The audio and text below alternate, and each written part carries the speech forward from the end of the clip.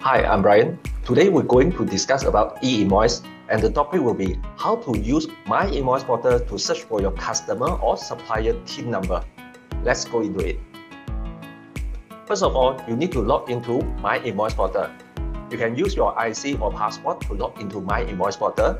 Then you need to click on the search icon. Over here, you need to make a decision whether you want to search for an individual or a company. Let's start with an individual. After you select individual, you can use the individual IC number or passport number to search. For example, let's say we use the IC number to search. Then key in the person IC number, then click search. The TIN number of that particular person will be appear, then this is his TIN number. What about companies? When you choose other than individual, you can search for company TIN number.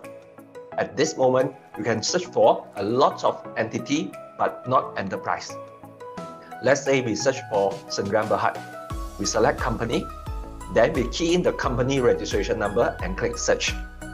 You will get the company TIN number. So this is the fastest and easiest way for you to search for an individual or company TIN number. If you have other questions regarding e-invoice or SQL accounting software, you may search for me over my social media or you can join my Facebook forum to have e-invoice Q&A or SQL accounting software Q&A. If you want to purchase SQL accounting software or sign maintenance or buy e-invoice module, please look for me. That's all for today. See you in the next video. Thank you.